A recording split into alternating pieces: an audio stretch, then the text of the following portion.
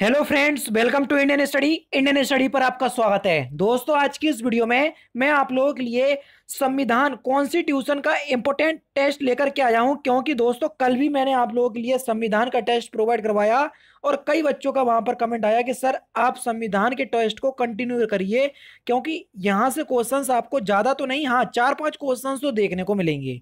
क्योंकि पुलिस के कोई भी एग्ज़ाम हो तो यहाँ से क्वेश्चंस आता ही है। और मैं उन क्वेश्चंस को लेकर के आया हूँ, जो आपके जेल वार्डर के लिए बहुत ज़्यादा इंपॉर्टेंट हैं। तो आप लोग ज़रूर से इस वीडियो को देखिएगा।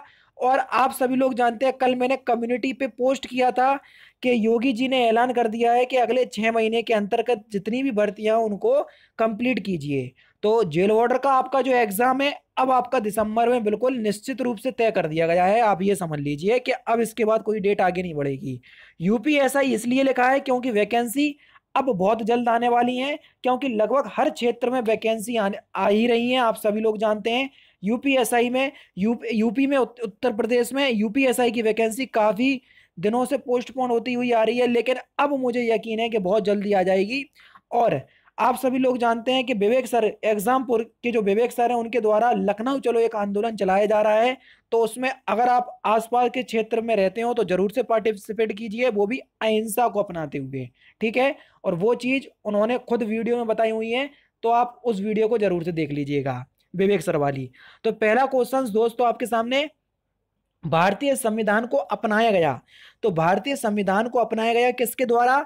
तो संविधान सभा के द्वारा ही अपनाया गया था ये। पहला ही ऑप्शन आपका बिल्कुल करेक्ट हो जाएगा। नेक्स्ट क्वेश्चन संविधान सभा ने भारत के संविधान को कब अंगीकृत किया या कब स्वीकृत किया? बाद बराबर में। मैं थोड़ा सा छोटा कर देता हूँ, क्योंकि यहाँ पर सारी चीज़ें आपकी छूट रही हैं। संविधान सभा ने भारत के संविधान को कब स्वीकृत किया था? तो कब किया था? 26 नवंबर उन्नीस सौ उनचास को। ये अंगीकृत की बात हो रही है तो इसलिए आप पहला ऑप्शन लगाएँगे और लागू की बात होती तो 26 जनवरी 1950 ठीक है? पता है आपको। नेक्स्ट क्वेश्चन भारतीय संविधान सभा के प्रथम दिन के अधिवेशन की अध्यक्षता किसने की थी? किसने की थी? जल्दी बताइए। तो आपका जो सही आंसर हो जाएगा, वह हो जाएगा आपका option number A Sachidanand Sinha इसलिए ही इन्हें अस्थायी अध्यक्ष कहते हैं। इसके बाद डॉक्टर राजेंद्र प्रसाद बन गए थे। लेकिन जब संविधान सभा की प्रथम अधिवेशन हुआ था तो उसमें कोई स्थायी अध्यक्ष था नहीं तो इसलिए इन्हें अस्थायी अध्यक्ष बना के बोल दिया कि भैया आप कर लो इसकी अध्यक्षता। तो डॉक्टर सचिदानंद सिन्हा ने अध्यक्षता की थी पहले संविधान प्रथम दिन के अधिवेशन की। ठीक है ना? संविधान सभा के। नेक्स्ट क्वेश्चन, संविधान सभा ने किस प्रांत का प्रतिनिधित्व सबसे अधिक था? तो किस प्रांत का था? तो आपका सही आंसर हो जाएगा संयुक्त प्रांत। तीसरा ऑप्शन बिल्कुल करेक्ट है। और संयुक्त प्रांत कैसे कहते कमेंट बॉक्स में बताना। संविधान सभा का प्रथम अधिवेशन कहाँ हुआ था? जल्दी बताओ। तो पहला अधिवेशन कहाँ पर हुआ था ये? संविधान सभा का दिल्ली में हुआ था। कहाँ पर दोस्तों? दिल्ली में। अच्छा और कब हुआ था? पता होना चाहिए। 9 दिसंबर 1946 में। ठीक है तो ये भी डेट कभी कभी पूछ लिया जाता है तो आप याद कर लो इसको। ठीक है, और अध्यक्षता मैंने बताई थी डॉक्टर सचिदानंद सिन्हा ने की थी। ठीक है नेक्स्ट क्वेश्चन आपके सामने। नेक्स्ट क्वेश्चन है कि भारत की आज़ादी के समय इंग्लैंड में किस पार्टी की सरकार थी? इंग्लैंड की बात हो रही, भारत की आज़ादी। लगभग उन्नीस की बात हो रही। तो कौन सी पार्टी थी? Labour party. तीसरा ऑप्शन बिल्कुल करेक्ट नेक्स्ट क्वेश्चन किस अधिनियम की प्रमुख विशेषताएँ प्रांतीय स्वायत्त थी? तो कौन से अधिवेशन की? तो सही आंसर हो जाएगा भारत सरकार अधिवेशन या भारत सरकार अधिनियम 1935 दूसरा ऑप्शन जो है वो आपका बिल्कुल क्या हो जाएगा? करेक्ट हो जाएगा।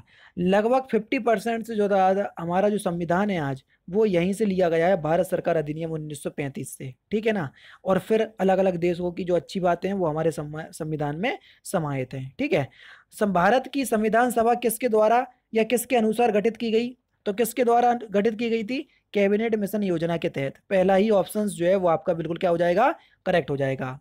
संविधान सभा को किसने मूर्त रूप प्रदान किया? तो किसने किया था?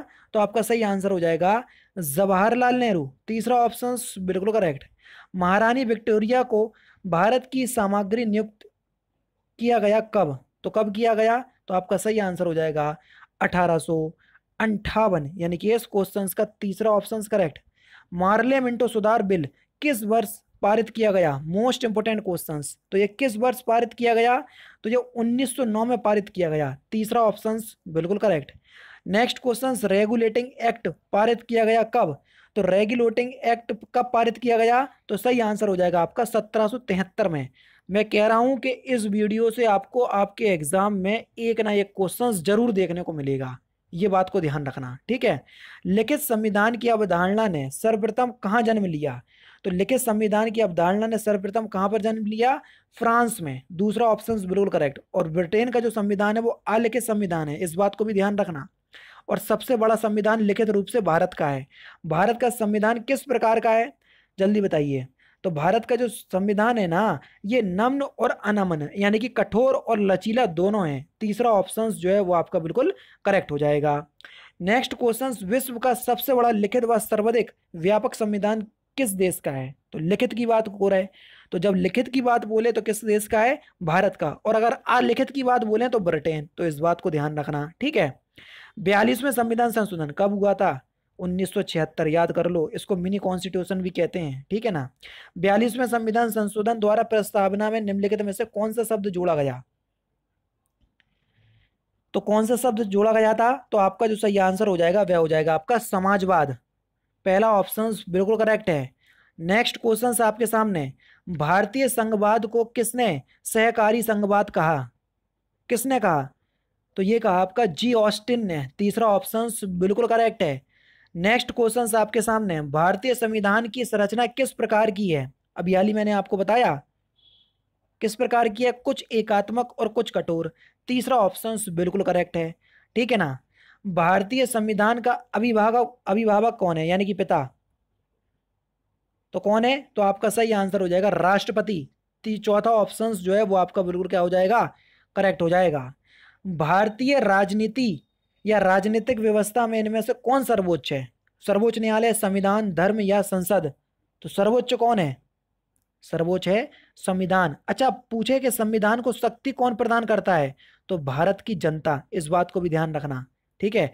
अगर लोकतांत्रिक दृष्टि से देखें तो जो जनता जो है वो सर्वोच्च है।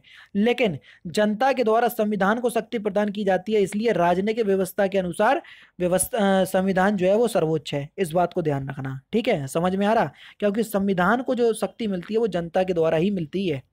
नेक्स्ट क्वेश्चन आपके सामने भारतीय संविधान में संघवाद किस देश से लिया गया है? देखो, संघवाद की अवधारणा हो रही है। तो संघवाद कहाँ से लिया गया है? तो आपका जो सही आंसर होगा, वह होगा आपका कनाडा। कनाडा से लिया गया संघवाद। दूसरा ऑप्शन बिल्कुल करेक्ट नेक्स्ट क्वेश्चन भारत का संसदीय प्रणाली प्रभावित है। भारत की जो संसदीय प्रणाली है, वो किस देश के संविधान से ली गई है? जल्दी बताओ। तो कहाँ से ली गई है? तो आपका सही आंसर हो जाएगा इंग्लैंड से या ब्रिटेन से। यानी कि दूसरा ऑप्शन जो है, वो आपका बिल्कुल क्या हो जाएगा? करेक्ट हो जाएगा। संसदीय प्रणाली ब्रिटेन से ली गई है। ठीक है ना? तो देखो, मैं आपको और चीज़ें भी बता दूँ कि ब्रिटेन से क्या क्या लिया गया है। क्योंकि देखो, यहाँ से क्वेश्चंस आपका पूछा ही जाता है। ठीक है ना? जब भी आप संविधान का कोई टॉपिक उठाओगे तो ये टॉपिक जो है वो बहुत इंपॉर्टेंट हो जाता है। जैसे आयरलैंड के संविधान से हमने राज्य के नीति निर्देशक तत्व लिए। इस प्रकार के टॉपिक जो है मोस्टली इंपॉर्टेंट हो जाते हैं और आपके एग्ज़ाम में पूछे भी जाते हैं। ठीक है ना? तो देखो, अगर हम बात करें, देखो, सबसे पहले हमने बताया कि भारत सरकार अधिनियम से 1935 से न्यायपालिका कैग जो है और लोक सेवा आयोग, ये भारत सरकार अधिनियम से लिए गए। ब्रिटेन की बात हो रही तो देखो संसदीय प्रणाली ली गई, ठीक है, एकल नागरिकता ली गई, उसके बाद विधि का शासन लिया गया, ठीक है, उसके बाद मंत्रिमंडल व्यवस्था भी ली गई।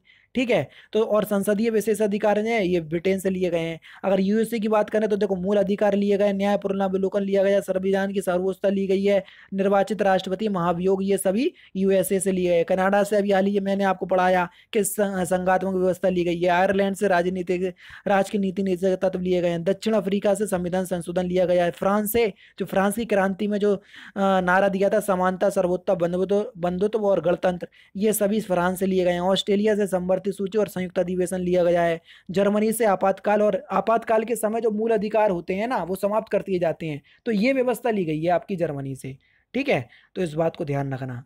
कानून के समान संरक्षण वाक कहाँ से लिया गया है?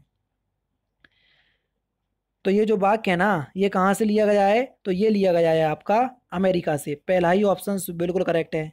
नेक्स्ट क्वेश्चन से आपका कि राज्य के नीति नेतृत्व किस देश के संविधान से लिए गए हैं? बताया अभी हाल आयरलैंड। इसलिए तो रिवाइज करवा दिया। उसको, उस जो छोटा सा जो ऑडियो क्लिप है, उसको बार बार सुनना, दो बार, तीन बार सुन लोगे ना, याद हो जाएगा आपको। इन क्वेश्चंस को फिर चलते ही साथ जाएँगे ये सारे क्वेश्चंस आपके। ठीक है ना? संसदीय शासन प्रणाली सर्वप्रथम किस देश में विकसित हुई? जल्दी बता दो। किस देश में विकसित हुई? बिल्कुल ठीक, सही आंसर हो जाएगा ब्रिटेन, तीसरा option correct next question Bharat में कलेक्टर का पद। औपनिवेशिक शासन के उधार लिया गया है। कहाँ से? कलेक्टर का पद। तो कहाँ से उधार लिया गया है? इंग्लैंड से। तीसरा ऑप्शन जो है वो आपका बिल्कुल करेक्ट है। नेक्स्ट क्वेश्चन अध्यक्षमत शासन का उदय सर्वप्रथम किस देश में हुआ? जल्दी बताओ। तो किस देश में हुआ था? तो आपका सही आंसर हो जाएगा ऑप्शन नंबर बी संयुक्त राज्य अमेरिका। दूसरा ऑप्शन बिल्कुल करेक्ट है। नेक्स्ट क्वेश्चन भारत में वैध प्रभुसत्ता निहित है। तो भारत में वैध प्रभुसत्ता किसमें निहित है? तो ये हमारे देश के राष्ट्रपति में नहीं थे। राष्ट्रपति में? नहीं भैया, संविधान में होगा, ध्यान रखना। वैध प्रभु सत्ता जो है वो संविधान में निहित है, यानी कि तीसरा ऑप्शन जो है वो आपका बिल्कुल करेक्ट हो जाएगा। कई लोग राष्ट्रपति सोच रहे होंगे, इसलिए तो मैंने बोला था। भारत में सर्वोच्च माना जाता है क्या? तो भारत में सर्वोच्च माना जाता है आपका संविधान को, और संविधान को शक्ति कहाँ से मिलती है? जनता से। तो ये भी ध्यान रखना। और लास्ट क्वेश्चन भारतीय संविधान की कुल कितने भाग हैं? प्रेजेंट टाइम में। तो भारतीय संविधान में कुल कितने भाग हैं? तो आपका सही आंसर हो जाएगा बाईस भाग हैं। तीसरा ऑप्शन जो है वो आपका बिल्कुल क्या हो जाएगा? करेक्ट हो जाएगा। तो दोस्तों, ये थे कॉन्स्टिट्यूशन यानी कि संविधान के तीस इंपॉर्टेंट क्वेश्चंस जो कि आपके आने वाले एग्ज़ाम्स यूपी जेल वार्डर और यूपीएसआई के लिए तो मोस्ट इंपोर्टेंट हैं। अब रेलवे ग्रुप डी वाले रेलवे एनटीपीसी वाले दिल्ली पुलिस कॉन्स्टेबल वाले, सभी लोग इस वीडियो को देख सकते हैं क्योंकि जीके जो है वो हर कॉम्पिटेटिव एग्ज़ाम का पार्ट होता है।